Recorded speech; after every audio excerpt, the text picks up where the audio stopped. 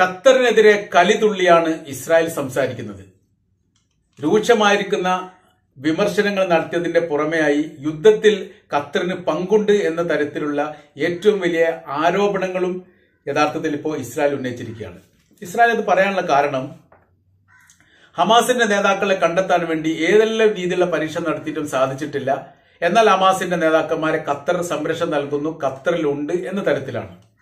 അല്ലെങ്കിൽ വ്യത്യസ്തമായിരിക്കുന്ന ലോകരാജ്യങ്ങളിൽ ഖത്തറിൽ ഈ ഹമാസിന്റെ ആളുകൾ ഉണ്ട് എന്നുള്ള വിവരം ഖത്തറിന് അറിയാം. അപ്പൊ ഖത്തറും കൂടി യുദ്ധത്തിൽ പങ്കാളിത്തം വഹിച്ചുകൊണ്ടുള്ള യുദ്ധമാണ് നടക്കുന്നത് എന്ന രൂപത്തിലുള്ള കാര്യങ്ങളാണ് ഇപ്പോൾ ഇസ്രായേൽ പറഞ്ഞുകൊണ്ടിരിക്കുന്നത്. യാതൊരു അടിസ്ഥാനപരമായ അടിസ്ഥാനപരമായിരിക്കുന്ന കാര്യങ്ങളും ഈ വിഷയമായിട്ട് ബന്ധപ്പെട്ട് ഒരു തരത്തിലും ഇല്ല എന്നുള്ളത് വ്യത്യസ്ത സമയങ്ങളിലെല്ലാം ഖത്തറിന്റെ പ്രതിനിധികൾ ഇതിനോട് പറഞ്ഞിട്ടുണ്ട്. നിങ്ങൾ തെളിവ് ഹാജരാക്കൂ നമുക്ക് നോക്കാം എന്നുള്ള തരത്തിലാണ്. അതിന് ഇസ്രായേൽ പറയുന്ന മറുപടി എന്ന് പറയുന്നത് ഹമാസിന്റെ തലസ്ഥാനം അല്ലെങ്കിൽ ഹമാസിന്റെ ഏറ്റവും വലിയ ഓഫീസുകളൊക്കെ പ്രവർത്തിക്കുന്നത് ഖത്തറിലെ ദോഹയിലാണ്. അതിന് പ്രത്യേകപരമായിരിക്കുന്ന പെർമിഷൻ നൽകിയിരിക്കുന്നു. അതിന് ഖത്തർ പറയുന്ന മറുപടി വ്യത്യസ്തപരമായിരിക്കുന്ന രാജ്യങ്ങളുമായിട്ട് ബന്ധമുണ്ടാകുന്ന സമയത്ത് മാത്രമേ വിഷയത്തിൽ ഇടപെടാൻ വേണ്ടി സാധിക്കുകയുള്ളൂ. അത് ഹമാസിന്റെത് മാത്രമല്ല താലിബാന്റെ ഓഫീസ് പ്രവർത്തിക്കുന്നുണ്ട് അമേരിക്കയുടേത് പ്രവർത്തിക്കുന്നുണ്ട്. ലോകത്തിലെ വ്യത്യസ്തപരമായിരിക്കുന്ന രാജ്യങ്ങളുടെ സ്ഥാനങ്ങളും സ്ഥാപനങ്ങളും അവിടെയൊക്കെ ഉണ്ട് എന്നതുകൊണ്ട് അവരുടെ വിഷയത്തിൽ ഇടപെടാൻ വേണ്ടി സാധിക്കണമെങ്കിൽ അവരുമായിട്ട് ബന്ധം വേണം. നിങ്ങൾ നോക്കൂ ഇസ്രായേലുമായിട്ടുള്ള ബന്ധത്തിൽ വെടിനിർത്തൽ കരാറിന് നേതൃത്വപരമായിരിക്കുന്ന പങ്ക് വഹിച്ചത് ഖത്തറാണ്. ഖത്തർ വഹിക്കാൻ കാരണം അമാസുമായിട്ടുള്ള ബന്ധത്തിന്റെയും ഇസ്രായേലുമായുള്ള ബന്ധത്തിന്റെയും അടിസ്ഥാനത്തിൽ തന്നെയാണ്. അമേരിക്കയുടെ സൈനികരെ മോചിപ്പിക്കാൻ വേണ്ടി താലിബാനുമായിട്ട് ചർച്ച നടത്തിയത് ഖത്തറാണ്.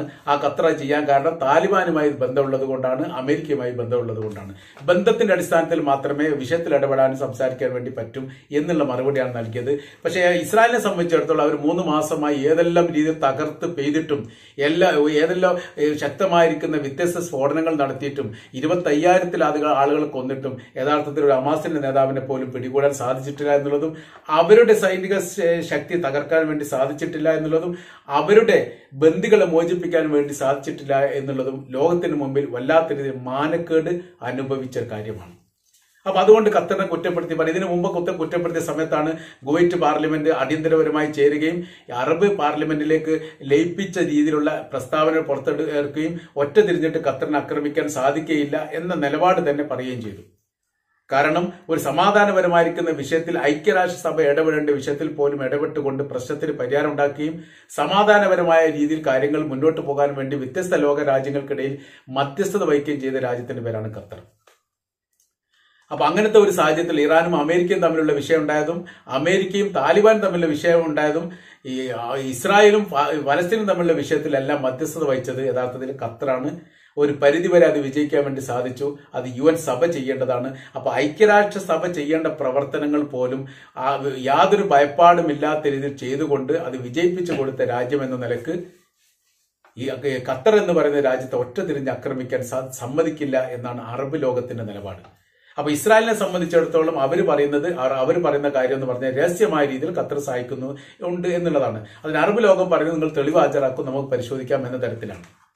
അപ്പോൾ അതി അതിരൂക്ഷമായിരിക്കുന്ന ഭാഷാ പ്രയോഗം നടത്തിക്കൊണ്ടാണ് ഖത്തറിനെ ഇസ്രായേൽ വിമർശിക്കുന്നത്. ഒരു യുദ്ധത്തിന്റെ ഭാഗത്തേക്ക് ഇത് എത്തുമോ എന്ന രീതിയിൽ പോലും സംശയിക്കത്തക്ക രീതിയിലുള്ള വിമർശനങ്ങളാണ്. വിമർശനങ്ങളും എതിർപ്പുകളും ആക്ഷേപങ്ങളൊക്കെ ആണ് പിന്നീട് അക്രമ രീതിയിലേക്ക് എത്തുക എന്നുള്ളത് നമുക്കറിയാം. അത്രയ്ക്ക് രൂക്ഷമായിരിക്കുന്ന രീതിയിലാണ് യഥാർത്ഥത്തിൽ ഖത്തറിനെ ഈ ഇസ്രായേൽ കണ്ടത് ഇസ്രായേൽ ഇപ്പോൾ ആ ഭാഗമായിട്ട് സംസാരിക്കുന്നത്. അതിനുള്ള മറ്റൊരു ഭാഗം എന്ന് പറയുന്നത് മധ്യസ്ഥവുമായിട്ട് ബന്ധപ്പെട്ട വിഷയത്തിൽ ഖത്തർ മാറി നിൽക്കുമോ എന്നൊരു ഭയപ്പാട് യഥാർത്ഥത്തിൽ ആർക്കുണ്ട്?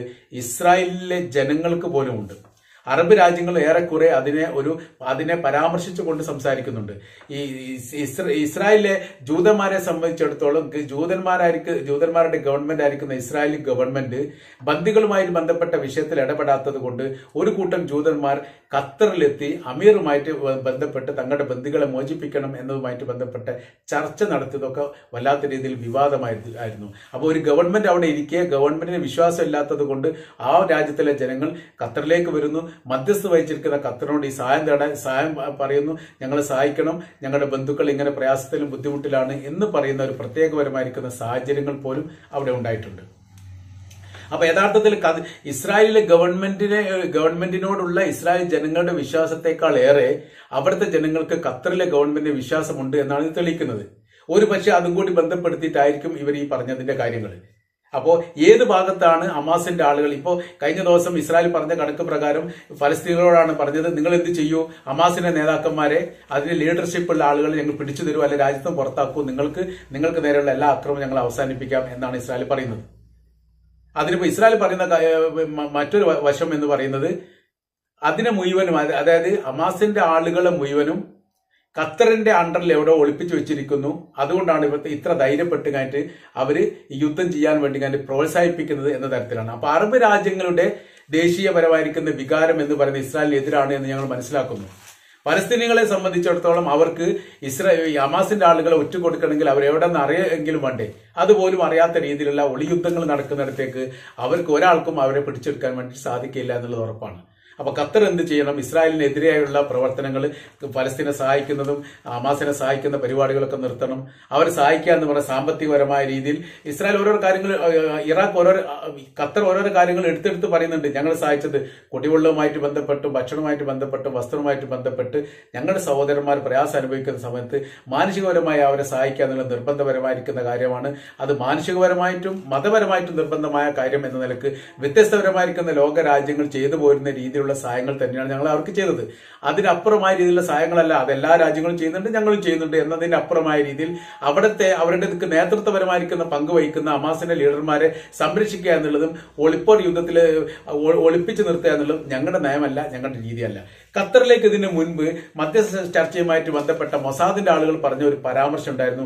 അതും വല്ലാത്ത രീതിയിൽ ഖത്തറിനെ ചൊടിപ്പിച്ച കാര്യമാണ്. അമാസിന്റെ ആളുകൾ ഇവിടെ ഉണ്ട് എന്ന് ഞങ്ങൾക്കറിയാം. ഞങ്ങൾ അവരെ കൊലപ്പെടുത്തുക തന്നെ ചെയ്യുമെന്നുള്ളത് അതിന് ഖത്തർ അപ്പം തന്നെ മറുപടി പറഞ്ഞിട്ടുണ്ട്. ഇതൊരു ഭരണഘടനാപരമായിരിക്കുന്ന അംഗീകാരമുള്ള ഒരു രാജ്യം തന്നെയാണ്. ഞങ്ങളുടെ ടെറിറ്റോറിയിൽ കയറിയിട്ടുള്ള ഒരു അക്രമം എന്ന് പറഞ്ഞാൽ ഞങ്ങൾ അത് അംഗീകരിക്കാത്തതുമാണ്. അതിനെതിരെ തീർച്ചയായിട്ടും ഞങ്ങൾ പ്രതികരിക്കുക തന്നെ ചെയ്യും എന്ന രീതിയിലുള്ള മറുപടി ആ സമയത്ത് പറഞ്ഞിരുന്നു. അതും വല്ലാത്ത രീതിയിൽ ഇസ്രായേലിനെ സംബന്ധിച്ചിടത്തോളം അവർക്ക് പ്രയാസം ഉണ്ടാക്കിയ കാര്യമാണ്. അപ്പൊ ഖത്തറിൽ കയറിയിട്ട് പലസ്തീനുകൾ പലസ്തീനുകളിലെ നേതാക്കന്മാരെ വകവരുത്തും എന്ന് ഒരു രാജ്യത്തിലെ ഗവൺമെന്റിന്റെ പ്രതിനിധികളോട് പറയുക എന്ന് പറഞ്ഞാൽ ഗൗരവപരമായിരിക്കുന്ന വിഷയം തന്നെയാണ്. രാജ്യയുദ്ധവുമായിട്ട് ബന്ധപ്പെട്ട പ്രഖ്യാപനത്തിന്റെ ഭാഗമായിട്ട് തന്നെ അത് കാണാവുന്നതാണ്. നിങ്ങളുടെ രാജ്യത്തിന്റെ അതിർത്തി കയറി മറ്റൊരു രാജ്യത്തിന്റെ നേതാവിനെ കൊല്ലും എന്ന് തന്നെയാണ് പറഞ്ഞത്. അതിനുള്ള മറുപടിയായിട്ട് ഖത്തർ ഇത് പറയുകയും ചെയ്തിട്ടുണ്ട്. ഇതെല്ലാം വല്ലാത്ത രീതിയിൽ പ്രകോപനപരമായിരിക്കുന്ന ഒരു വിഷയമായിട്ടാണ് ആര് കാണുന്നത്? ഇസ്രായേൽ കാണുന്നത്. അതുകൊണ്ടാണ് ഇസ്രായേൽ ഈ രീതിയിൽ പ്രതികരിച്ചത്. എവിടെയാണ് ഹമാസിന്റെ നേതാക്കന്മാർ ഉള്ളത് എന്നുള്ളത് ഖത്തറിനെ അറിയാം അവരാണ് ഒളിപ്പിക്കുന്നത്. ഒളിയുദ്ധത്തിന് അവർ പങ്കുവഹിക്കുന്നു എന്ന തരത്തിലൊക്കെ. ഏതായിരുന്നാലും സങ്കീർണപരമായിരിക്കുന്ന ഒരു വിഷയത്തിലേക്ക് കാര്യങ്ങൾ പോകുന്നു. മധ്യസ്ഥ വിഷയത്തിൽ നിന്ന് പതുക്കെ പതുക്കെ ഈ ഖത്തർ തന്നെ അകന്നു നിൽക്കുന്നോ എന്ന് സംശയിക്കുന്ന രീതിയിലാണ് ഈ സമീപനങ്ങളും നിലപാടും ഇപ്പോൾ യഥാർത്ഥത്തിൽ എത്തിയിരിക്കുന്നത്. അറബ് രാജ്യങ്ങൾ മുഴുവൻ ഈ വിഷയമായിട്ട് ബന്ധപ്പെട്ട് വിപുലമായ രീതിയിൽ ചർച്ച ചെയ്തു. എന്തിനാണ് ഖത്തറിനെ കുറിച്ച് ഇങ്ങനെ പറയുന്നത്? അത് പറയേണ്ട കാര്യങ്ങൾ എന്താണ്? ഒരു മധ്യസ്ഥ റോളായിട്ട് വിഷയങ്ങൾ പരിഹരിക്കുന്ന ഒരു രാജ്യത്തെക്കുറിച്ച് അങ്ങനെ പരാമർശിക്കുന്നത് ശരിയല്ല എന്ന് പറഞ്ഞതോടുകൂടി കത്ത് ഈ ഇസ്രായേൽ എന്ന് പറയുന്ന രാജ്യത്തോട് താല്പര്യമുള്ള രാജ്യക്കാർ പോലും ശത്രുതാ മനോഭാവത്തോടു കൂടിയാണ് ഇപ്പൊ ഇസ്രായേലിനെ കാണുന്ന ഒരു പ്രത്യേകത ഉണ്ട് കാരണം അവർ തോൽക്കുന്ന യുദ്ധത്തിൽ മറ്റൊരാളെ കുറ്റപ്പെടുത്തുന്ന രീതിയിലുള്ള പ്രവർത്തനമാണ്. യഥാർത്ഥത്തിൽ ആമാസിന്റെ ആളുകൾ ഗസയിൽ ഉണ്ടല്ലോ ഗസയിൽ ഉണ്ടെന്ന് എങ്കിൽ എന്തുകൊണ്ട് അവർ പിടിക്കാൻ വേണ്ടി സാധിക്കുന്ന എല്ലാവിധ സൈനിക സംവിധാനവുമായിട്ടാണ് അവർ യുദ്ധത്തിന് പുറപ്പെടുന്നത്? അമേരിക്ക കൂടെയുണ്ട്. എന്നിട്ട് അവർക്ക് പോലും പിടിക്കപ്പെടാത്തതിന് എന്തിനാണ് ഇറാ ഖത്തറിനെയും മറ്റുള്ള രാജ്യത്തെയും കുറ്റപ്പെടുത്തുന്നത്? എന്നാണ് ചോദ്യം. ആ ചോദ്യത്തിന് യഥാർത്ഥത്തിൽ ഇസ്രായേലിന് തന്നെ മറുപടി പറയാൻ വേണ്ടി സാധിക്കുന്നില്ല. അങ്ങനെ യഥാർത്ഥത്തിൽ അക്കരയും ഇക്കരയും ഇല്ലാത്ത രീതിയിൽ കുടുങ്ങിയിരിക്കുന്ന പ്രത്യേകപരമായിരിക്കുന്ന സാഹചര്യമാണ് ഗസയിൽ ഇപ്പോൾ അമാസ് നേരിട്ട് കൊണ്ടിരിക്കുന്നത് ഇതിനെങ്ങനെ അഭിമുഖീകരിക്കണം എങ്ങനെ അതിജീവിക്കണം എന്നതിനെ കുറിച്ചുള്ള ഒരു ധാരണയും യഥാർത്ഥത്തിലില്ല ബുദ്ധിപരമായിരിക്കുന്ന പല കാര്യങ്ങളും നിർദ്ദേശങ്ങളും യുദ്ധവുമായിട്ട് ബന്ധപ്പെട്ട ഉപദേശങ്ങൾ നൽകാൻ വേണ്ടിയിട്ടാണ് പ്രത്യേകപരമായിരിക്കുന്ന സംഘത്തെ തങ്ങൾ അയക്കുന്നതെന്ന് അമേരിക്കൻ പ്രസിഡന്റ് ജോ ബൈഡൻ പറഞ്ഞിരുന്നു. യുദ്ധത്തിന് സൈനികർ അയക്കുന്നതുമായിട്ട് ബന്ധപ്പെട്ട്. എന്നാൽ അവരുടെ ബുദ്ധിപരമായിരിക്കുന്ന നീക്കങ്ങളും ഉപദേശങ്ങളും നിർദ്ദേശങ്ങളും കൊണ്ടൊന്നും ഗസയെ തോൽപ്പിക്കാൻ വേണ്ടി സാധിച്ചിട്ടില്ല. അവരിപ്പോഴും സജീവമായിട്ട് പ്രവർത്തിക്ക് നിലനിൽക്കുന്നു എന്നുള്ളിടത്ത് ഈ ഇസ്രായേലിനെ സംബന്ധിച്ചിടത്തോളം വല്ലാത്തൊരു നിരാശ ഉണ്ടാവുന്നു പ്രയാസം ഉണ്ടാവുന്നു ബുദ്ധിമുട്ടുണ്ടാവുന്നു. ആ ബുദ്ധിമുട്ടും പ്രയാസവും നീരസവുമാണ് യഥാർത്ഥത്തിൽ ഖത്തറിന്റെ പെടലിക്ക് വെച്ചുകൊണ്ട് ഒഴിഞ്ഞു മാറുന്നത് എന്ന് നമുക്ക് മനസ്സിലാക്കാൻ വേണ്ടിയിട്ട് പറ്റും.